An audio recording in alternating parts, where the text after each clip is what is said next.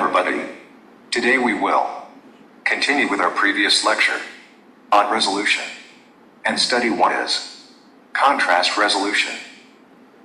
Contrast resolution refers to the ability of an ultrasound imaging system to distinguish between differences in the intensity of reflected echoes from different tissues.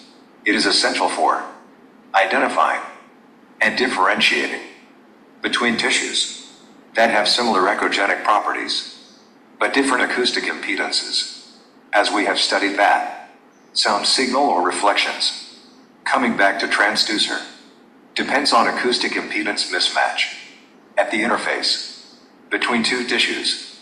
Large acoustic impedance mismatch, more echogenic, will be reflected signal, and less acoustic impedance mismatch, less echogenic will be reflected signal. The system processes these echoes and assigns different shades of gray to the image corresponding to the intensity of the echoes. It is very important to know that contrast of an image and contrast resolution of an image are two different things. Basically, to understand what is contrast of an image, let's suppose we say it is bistable, which means only two shades, black and white.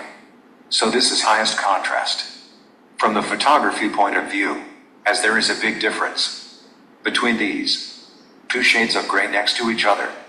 But regarding contrast resolution of an ultrasound image, this is the low contrast resolution, of course. Now, if we compare here, in this case, there are many shades of gray. Comparing this shade of gray and the next one adjacent, there is no big difference in the contrast. Putting these two adjacent shades of gray next to each other with not a big difference in their echogenicity. And probably, we can say they are of similar echogenicity.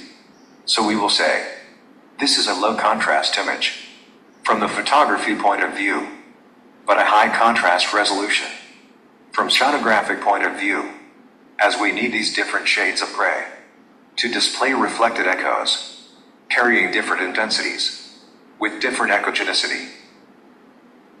So this is highest contrast, as less shades of gray, and there is a big difference between these two shades of gray next to each other.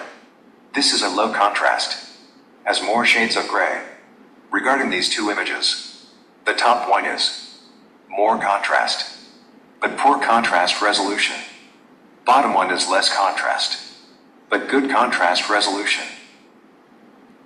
The dynamic range of the ultrasound system allows it to capture and display a wide range of echo intensities, from very weak to very strong. The range of echo intensities that the ultrasound system can display. A wider dynamic range improves contrast resolution by allowing the system to display more levels of gray shades. Adjusting the dynamic range can help in enhancing the visibility of subtle differences between tissues that have similar echogenicity, such as in the liver, kidneys, or muscles.